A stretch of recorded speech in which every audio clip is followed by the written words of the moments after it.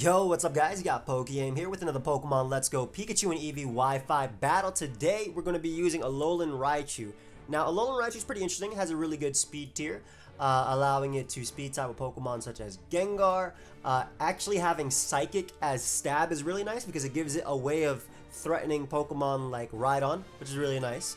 Uh, as well as super effective versus fighting types. Calm Mind for boosting, and then it does have Encore. Encore is pretty interesting because, for example, if I lead... Um, or if I predict someone to go for Roost, to go for Soft Boil, to go for Stealth Rock, I can encore them that, or I can encore them into that, excuse me, and force them to go for that move again while I'm able to set up. So hopefully we can get something going with this thing. It doesn't have the best defense, doesn't have the best HP, but good speed and decent special attack stat. Now, if you guys missed any of my previous Wi-Fi battles, there is a playlist down below. I encourage you to check that out. Also, feel free to keep suggesting Pokemon. I will be getting to all of them. Don't worry.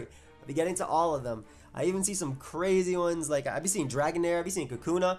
I might do some like fun battles with friends with that sort of thing. But uh, yeah, if you guys also want to check out the guide to team building, that is linked down below. But let us get right into the battles. Alright guys, we got our first game now. Raichu doesn't have the best matchup in this. Uh, Jolteon, uh, Pikachu which is faster, uh, Mega Beedrill potentially as well. Like a whole bunch of threats that are faster and threaten it.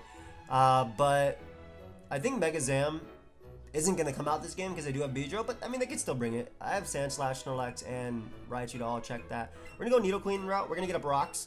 Uh, I definitely think that's useful for my, um, well, first off, for my Raichu. And secondly, Nidoqueen matches up well versus everything besides Alakazam as a lead. So getting up rocks early uh, versus this guy. They do have one rocker, which is a Alolan Sandslash, if I'm not mistaken. Uh, I do think that Raichu is going to be nice just for chipping away at things, but I don't think it's going to be sweeping in this game at all. This isn't like the type of game where it can definitely sweep. Now, I gotta be a little bit careful because Jolteon is a problem, and if I let Nidoqueen get too weakened, I could lose to it. Actually, no, never mind. Forget that. I'm not gonna lose to Jolteon. Anyway, they lead off with Sandslash. So this is good and bad. Uh, good because I can get on my rocks. I'm assuming they're gonna do the same. And bad because obviously they're gonna do a good chunk with Ice Punch, right? But I do value rocks a lot. I wish I had Flamethrower. They might fear it. I do have Surf on this thing because it KOs Rhydon, which I think would be really nice for Kangaskhan. Uh, but I'm assuming we're going to exchange rocks here. Let's see, yeah. So we do exchange rocks, not bad. Now, one Pokemon they have trouble switching into is my uh, my Poliwrath. They have a lot of trouble switching to Poliwrath. Their two fighting resists are not very good Pokemon at defensive-wise, right? Beedrill and Alakazam. So we are going to go Poliwrath here on the anticipated, uh, mainly because it's just really here for this Sandslash. But on the anticipated um, Ice Punch or Earthquake, Earthquake is actually a pretty good play because it's a good mid ground. It hits my Ice Resist decently. So I wouldn't mind them going for that.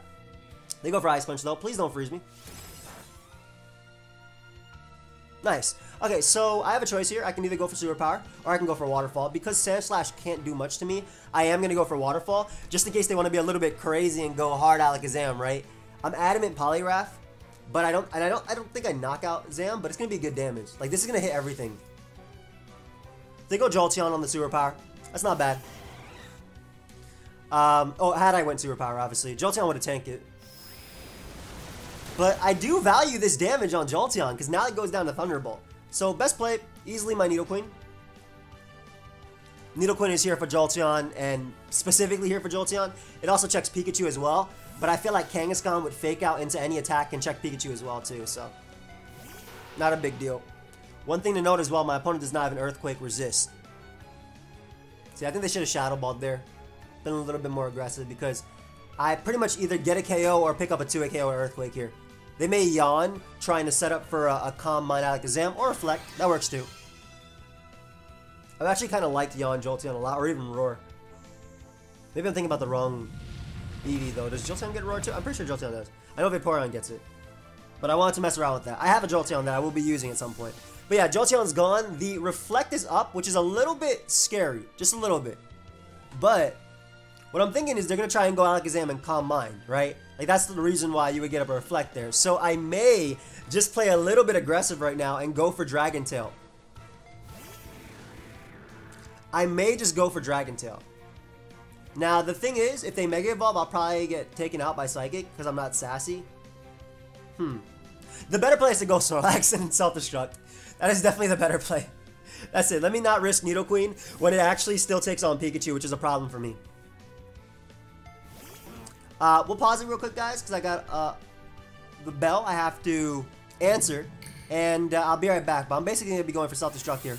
Sorry about that. You guys missed the boom. But basically, I went for self-destruct, and uh, Alakazam went down. So, a few plays I have. Um, I do like Raichu because it's very, very fast versus my opponent, but they can also bring out Beedrill as well. So I think that Kangaskhan is my best play. Uh, Kangaskhan just comes out now. It gets a fake out on Beedrill. If they go Pikachu, I get a fake out too. So I'm not too worried. It just sucks that that opponent doesn't have anything really weak to Electric or Psychic. Yeah, we Mega Evolve here and Fake Out for sure. Uh, Pikachu's to take so much from this. Ooh, a switch. Are they to go Sandslash? They have to bring out Arcanine. Now, I'm not sure Arcanine actually takes um, Fake Out into Earthquake. I don't think it does. But if they are Jolly Arcanine, they will be able to outspeed me because I am adamant. So maybe their thought process is, okay, we'll bring an Arcanine here, and then I'll go for the Superpower. I could get in Raichu now, avoid the Superpower, and then go for a Thunderbolt. I think that's a fair play. Uh, if they go Flare Blitz, great play, but I think Superpower would be their their play. And if they go for Superpower, I can actually Encore them and then throw off a Thunderbolt after, slash Psychic. So let's see if they go for it, because that way they're forced to go for it again and not a Flare Blitz. Look at Raichu on its on its tail. So they do go for Superpower, nice. So again, what like I said, uh, this is where Encore is pretty cool, even though that does so much damage. Uh, at minus one, it won't be able to knock me out. So I can Encore them into that. Forgot Reflect was still out. That's why I did so little. I can Encore them into that. That way they can't go for Flare Blitz after. Oh. They switch out anyway. Into Sandslash. Alright, that's fine. Hmm. Because this is the one thing really stopping Kangaskhan from sweeping, I'm tempted to just go for, uh, for Thunderbolt here. Yeah, I'm just gonna go for Thunderbolt. I won't go down to Ice Shard anyway. And again, this Thunderbolt puts it in range of my uh, Kangaskhan, so I don't have to worry too much. So, kind of sucks. I wanted to show off Encore a little bit, and then I wanted them to switch in on my attack so I can get off too. But it's alright. Like I said, I don't think this was the game where, uh, where Raichu would be doing much, if anything. So Poliwrath is free here. Um, it basically just gets to click Superpower and picks up a KO.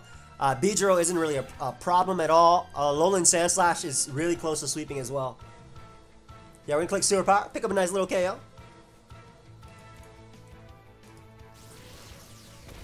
Too bad you guys didn't see me boom on the Zam. So basically the reason I had to go for Self-Destruct is because it would be the only move to knock out Alakazam through Reflect. Otherwise, Alakazam would have lived everything and potentially been a problem with its high speed tier.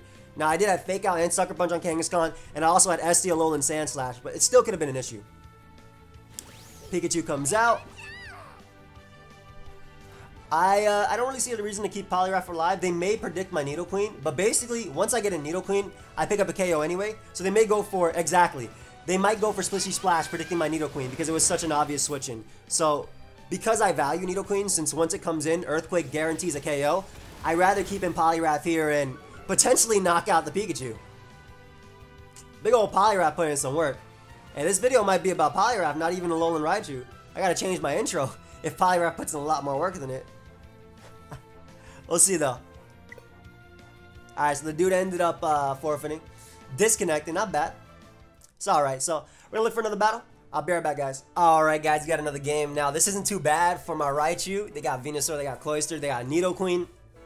Uh, I know for a fact my Kangaskhan is going to be putting in some nasty work in this. So I'm going to leave Nidoqueen. I want my rocks. I don't mind them getting up theirs as well. Uh, I actually need a little bit of chip damage on their uh, their Nidoqueen for Raichu to knock it out anyway. And obviously if they lead off a Chansey, I can get off a, an Earthquake or a Dragon Tail. So just uh, just basically getting off enough damage on Chansey, because that's the main thing that takes a hit. Er, besides that, they do not switch into two Psychics at all with their team. So Raichu has a decent matchup in this one. Let's see if we can actually get a full game this time. Beedrill has a lead, not too bad. Uh, I get a rocks here, and this is going to be really nice for Cloyster, obviously nice for Beedrill. My Kangaskhan, like I said, has a pretty decent matchup. I also don't think you 2 KO me with Drill Run, just because I am Impish uh, Nidoqueen. Yes, I'm Impish running Surf, but Surf KO is Rhydon, so it doesn't really matter about my nature. I doubt Mega Beedrill knocks me out. If it does, wow. And also, if it doesn't and I knock it out, that's so good for my, um... That's a crit, man. Why do I always get crit by drawing? Oh, wow, that's not? Are you serious? Is that adamant nature? How'd you do so much damage? That's insane. That has to be adamant. Unless I'm running the wrong, uh, the wrong EV spread. I might be my sassy one. That might be my bad. That did so much damage. This is why I like Mega Beedrill, Mega Beedrill a lot. Hmm. Yeah, th this guy's like, this guy's adamant Beedrill.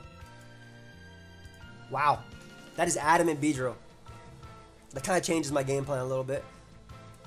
Just because of the amount of damage it puts in. Alright, so we're just going to Dragon Tail just in case they U-turn, predicting me to switch. They shouldn't. They should go for another drill run. They go for Brick Break, actually predicting me to switch into Kangaskhan. So I get some Dragon Tail damage off. Nice. That's good for Fake Out. Limit that switching. Maybe I'll get in Dragonite. I wouldn't mind that. I get in Venusaur. Uh, the fact that they have Chansey is annoying.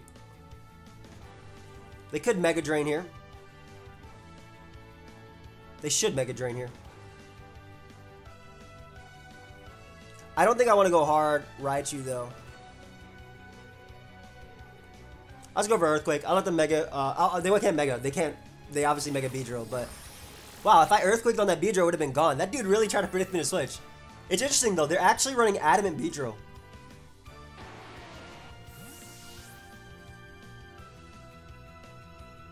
So I can get out Raichu now and uh, throw off a Psychic.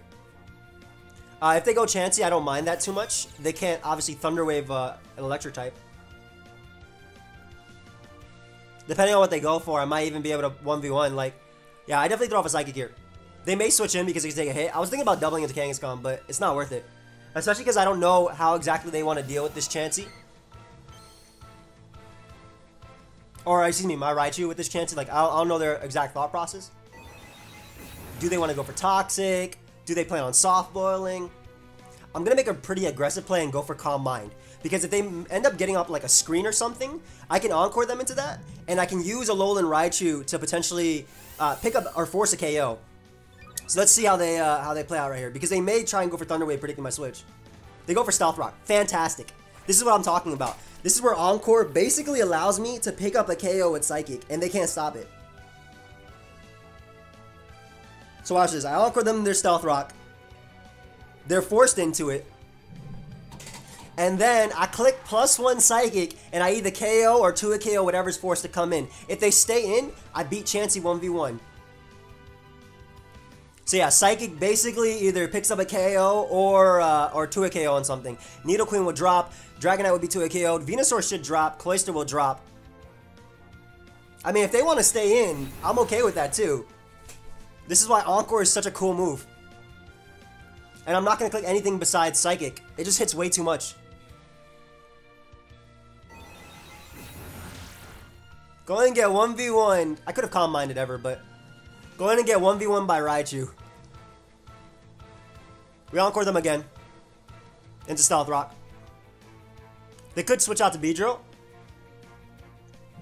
But if they don't, ah, go ahead and keep doing it to him. Raichu hitting that encore. That's what I like to see.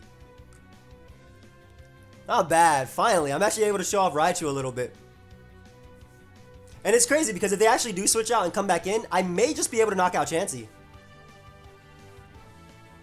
He looks so happy. They switch out, so whatever coming in is gonna drop, uh, just drop. Dragonite is gonna be 2 KO'd. Easily by Psychic. Easily. With Rocks up, I'm plus one. So I think their thought process is, okay, they're gonna do this and try and get in their uh, their their Beedrill after to revenge kill me, but it's a little bit too late. I just got rid of one of the biggest threats on my team with a Alolan Raichu. That is what I like to see. This Pokemon putting in some clean work. If they go out to Chansey, I just click Psychic again. But yeah, at this point, this thing beats Cloyster. Um, it beats Nidoqueen. It beats Venusaur. They have to go Beedrill, that's it. And take some Stealth Rock chip. Take that from that Dragon Tail earlier as well. Not bad. Mmm, they're gonna drill run here if anything. I guess they could U-turn. But if they U-turn again, then they're in range of Ice Shard unboosted from my uh, Sandslash. So we're getting Kangaskhan here. Doubt they Brick Break my Raichu. I absolutely doubt they Brick Break Raichu. Yeah, they drill run. They either drill run or U-turn. And I thought they were less likely to actually U-turn because of the fact that uh, rocks were up. So just Mega Evolve here and click Fake Out. We'll be able to knock out Beedrill, which means Raichu is going to be the fastest Pokemon on the field. They'll probably bring out Cloyster after. I want to say they'll bring out Cloyster after. This is going to die. Oh, just barely missed out. But that doesn't really matter. They already showed two moves, so I doubt they have Roost. I'm pretty sure it's U-turn and Poison Jab is the last two. So if it doesn't die, Sucker Punch is going to pick them off. There we go. Not even bad. But the, the cool part is, Raichu actually 1v1 a Chansey. That's how it's supposed to be. And he took out Dragonite after, so I'm hyped about that. And another forfeit! Another forfeit by my opponent. They just disconnect. They can't handle it. Alright, so this one's going to be a little bit of a shorter one because I have some people over. Um, but you guys saw Raichu with that Encore was basically able. Um, um, I, actually has to be a certain one because I, I, do have people.